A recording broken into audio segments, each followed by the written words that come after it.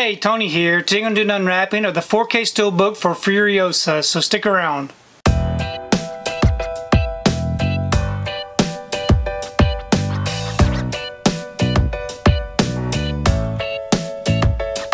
So today I want to take time to do an unwrapping of the Furiosa 4K Steelbook.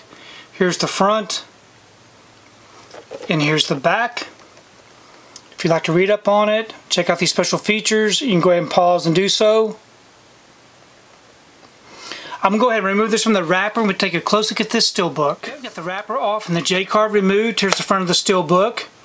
It is a lightly glossed steelbook. No embossing or debossing, but great looking image there. Then here's the back. We open it up. We have our front and back together. So really nice looking artwork. On the inside it does come with a digital code and our two discs. We have our 4K disc here with this disc art. And we have our Blu-ray with this disc art. And we do have some inside artwork.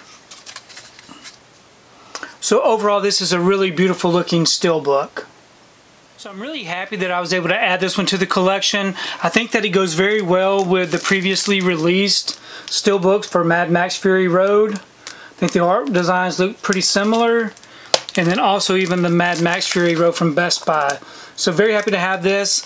Um, I did get to see this one in the theater. It was probably um, one of my favorites so far for the year. I really enjoyed it. I thought it was a great story, a lot of great action, and definitely looking forward to checking this one out again. Please leave me a comment below. Let me know what you think about this particular steelbook unwrapping, and also let me know your thoughts on Furiosa because I really do enjoy reading your comments. But thanks for taking the time to watch this video, and we will see you next time.